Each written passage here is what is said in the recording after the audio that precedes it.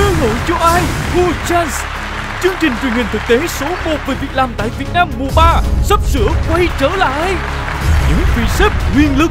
Về với thắng lợi thì em ờ, sẽ được ờ, tặng nhà.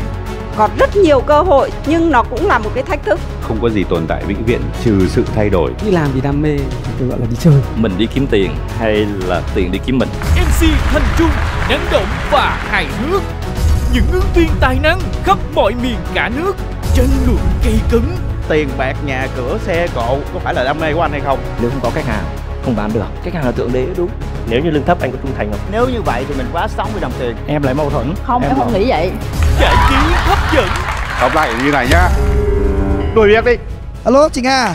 Mình là chỗ quan hệ của chị nga và vợ anh tuấn nếu mà anh tuấn anh định đuổi mình không không biết là anh tuấn anh có định ngủ ở nhà nữa hay không? Sao anh lại cho đuổi việc nó? alo ai đấy